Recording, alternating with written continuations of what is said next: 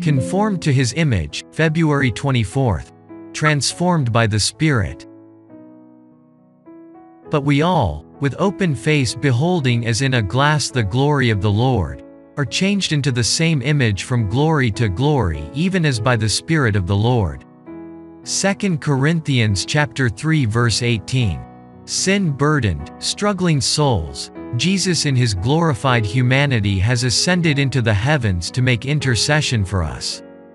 For we have not a high priest which cannot be touched with the feeling of our infirmities, but was in all points tempted like as we are, yet without sin.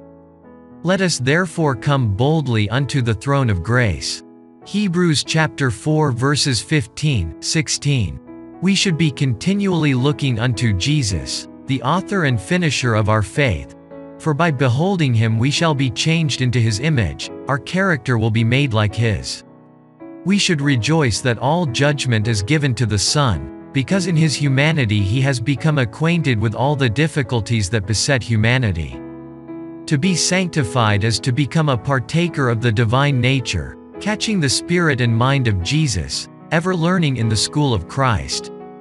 But we all, with open face beholding as in a glass the glory of the Lord, are changed into the same image from glory to glory even as by the Spirit of the Lord. It is impossible for any of us by our power or our own efforts to work this change in ourselves. It is the Holy Spirit, the Comforter, which Jesus said he would send into the world, that changes our character into the image of Christ. And when this is accomplished, we reflect, as in a mirror, the glory of the Lord. That is, the character of the one who thus beholds Christ is so like his, that one looking at him sees Christ's own character shining out as from a mirror. Imperceptibly to ourselves, we are changed day by day from our own ways and will into the ways and will of Christ, into the loveliness of his character. Thus we grow up into Christ, and unconsciously reflect his image. Professed Christians keep altogether too near the lowlands of earth. Their eyes are trained to see only commonplace things, and their minds dwell upon the things their eyes behold.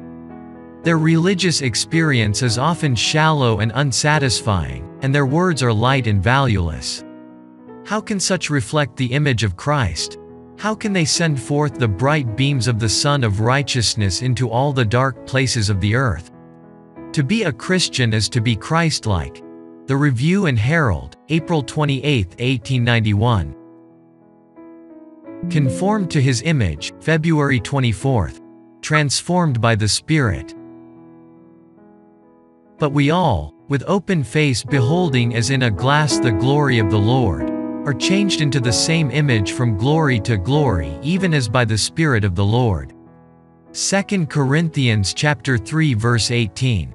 Sin burdened, struggling souls, Jesus in his glorified humanity has ascended into the heavens to make intercession for us. For we have not a high priest which cannot be touched with the feeling of our infirmities, but was in all points tempted like as we are, yet without sin. Let us therefore come boldly unto the throne of grace. Hebrews chapter 4 verses 15, 16. We should be continually looking unto Jesus, the author and finisher of our faith, for by beholding him we shall be changed into his image, our character will be made like his. We should rejoice that all judgment is given to the Son, because in his humanity he has become acquainted with all the difficulties that beset humanity. To be sanctified is to become a partaker of the divine nature, catching the spirit and mind of Jesus, ever learning in the school of Christ. But we all, with open face beholding as in a glass the glory of the Lord, are changed into the same image from glory to glory even as by the Spirit of the Lord. It is impossible for any of us by our power or our own efforts to work this change in ourselves. It is the Holy Spirit, the Comforter, which Jesus said he would send into the world, that changes our character into the image of Christ. And when this is accomplished, we reflect, as in a mirror, the glory of the Lord. That is, the character of the one who thus beholds Christ is so like his, that one looking at him sees Christ's own character shining out as from a mirror. Imperceptibly to ourselves, We are changed day by day from our own ways and will into the ways and will of Christ, into the loveliness of his character. Thus we grow up into Christ, and unconsciously reflect his image. Professed Christians keep altogether too near the lowlands of earth. Their eyes are trained to see only commonplace things, and their minds dwell upon the things their eyes behold. Their religious experience is often shallow and unsatisfying, and their words are light and valueless. How can such reflect the image of Christ? How can they send forth the bright beams of the Sun of Righteousness into all the dark places of the earth? To be a Christian is to be Christ-like.